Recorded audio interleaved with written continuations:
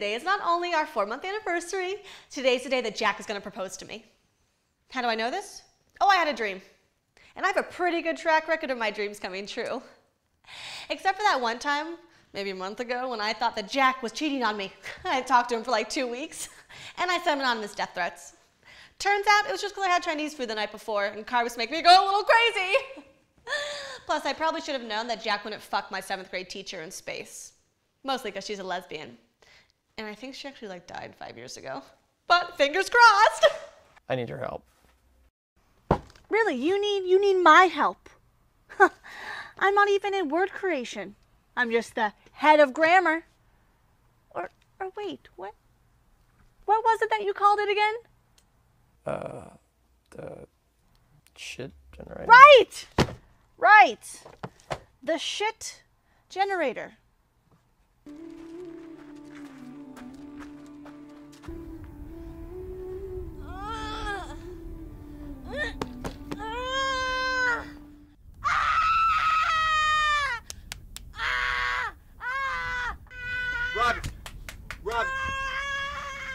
Would you do anything in your power to help other young mothers from finding themselves in the same desperate situation where you find yourself now?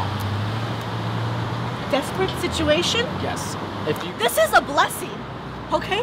I was featured in Parenthood magazine. Oh, that's really great. If Did you know that my name- partner and I tried for over a year Oh, your partner. to get pregnant? Do you know for the longest time I thought of my uterus as a tumor? That's how I think of your uterus. If I could just get your credit card.